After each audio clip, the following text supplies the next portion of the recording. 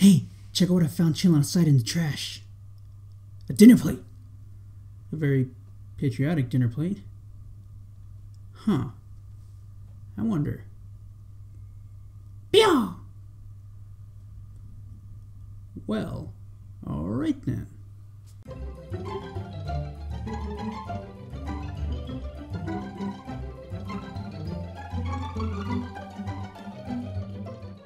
Hello and welcome back to Gamebox, the show where we talk about games of yesteryear.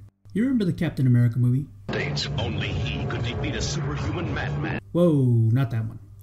This one. You just don't know when to give up. I could do this all day. Yeah, I bet you do. You remember the feeling watching good old Cap kick some Hydra ass? Remember leaving the theater with the feeling of, I want to kick ass like that. I want a shield. Well, what if I told you you can? Well then, sir and or madam, I present to you Captain America Super Soldier. You have no idea what I'm talking about, do you? Well, that's why I'm here.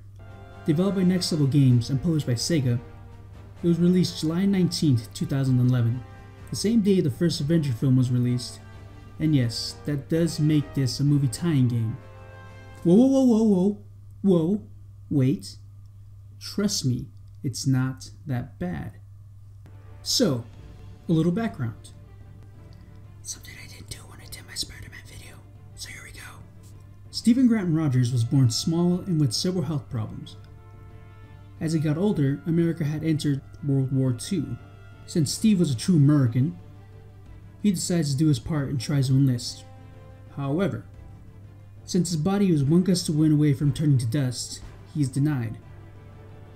He even goes as far as to use different names to try to enlist. Eventually, he crosses paths with a man by the name of Dr. Abraham Erskine, who, with the help of the US government, turned little Stevie into the badass Nazi puncher we all know and love. And Super Soldier, we play as Cap himself. I mean, OBS. As voice talents Chris Evans, Hayley Atwell, and Sebastian Stan. But sadly, no Hugo Weaving.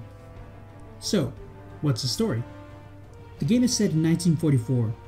When Cap interferes a Hydra attack on the front lines in France, he finds out the Hydra is packing some new duds. It turns out, Armin Zola is spearheading a new project called Project Masterman. Dr. Zola was able to learn his own way to enhance the human body, giving birth to his very own version of Uber soldiers. See what he did there? So now Cap has to kick in some heads to stop this madman. In my research, I found out this game is considered canonical.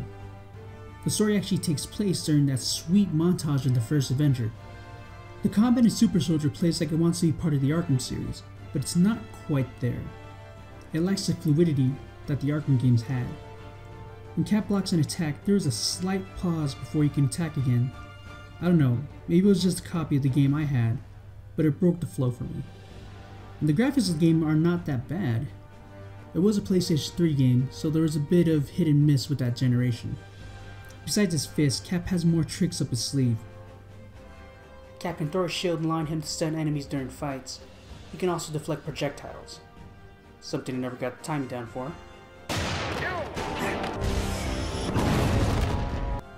Okay, so this is kind of out of nowhere, but can we talk about how dumb Cap's costume looked in the Avengers? I mean, yeah, it's comic book accurate, but it didn't transfer well, and just ended up looking out of place. Am I alone on this? Anywho, there is an upgrade system included in the game, and to be perfectly honest, I kind of forgot it was there when I was playing. I mean, sure, there are some skills that come in handy, like the increased number of baddies you can hit with your shield, but many of the upgrades that I purchased, I never used. The most powerful attack in the game is called Crippling Strike. This is your end all move. Seriously, this move lays out most baddies in one hit.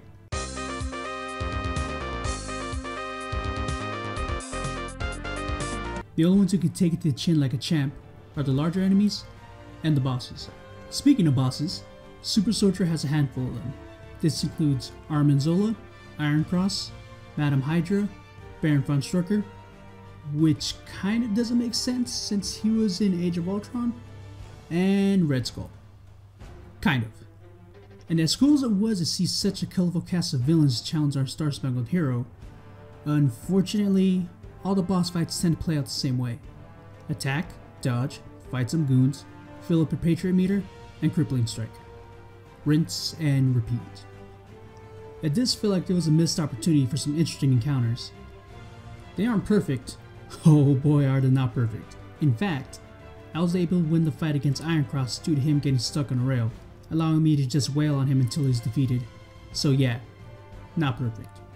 Cap can use his super intelligence to match numbers.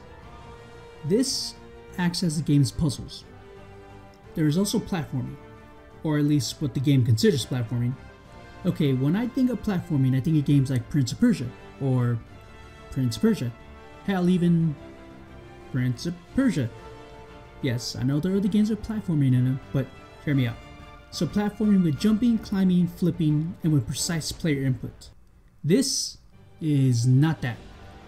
Here it functions along the lines of a rhythm game, which is very strange. Now there are no levels in the game. They are more like sections to a larger map. Kinda like another superhero based game. You are on an island after all. Kinda like another superhero based game. The size of the map isn't GTA levels of big, which is good because Cap runs like he's having a pleasant jaunt down a sunny road. The sections do offer a small bit of exploration. There are collectibles peppered in each section. These include dossiers and ceramic eggs, both which grant Cap that sweet, sweet XP. I will say that my favorite section is labs, because what secret base isn't complete without a creepy lab? But the reason I like this area is because of this guy. And the cool thing about him is that he can actually take away Cap's shield. This adds a bit more strategy to the encounter. That is until you end up using Crippling Strike and end the fight in one hit. There are also film reels that give Cap a leg up on some of the enemies, showing him their weaknesses. You can actually go through the entire game without picking up any of these. Later in the game, Cap can backtrack to previously visited areas to pick up any missed collectibles. But to be honest, there wasn't really reason to go back after that.